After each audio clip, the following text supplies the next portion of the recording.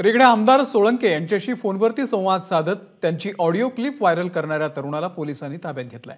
सुंदर भोसले असं या युवकाचं नाव आहे. पोलिसांनी या तरुणाला माजलगावच्या त्याच्या घरातून ताब्यात घेतलेला आहे. व्हायरल झालेल्या ऑडिओ क्लिपनंतर सोळंके यांच्या बंगल्यावरती हल्ला झाल्याचं उघड झालं. सुंदर भोसले हा धारूर तालुक्यातल्या धुनकवड या गावचा रहिवासी आहे. एबीपी माझा. उघडा डोळे बघा नीट.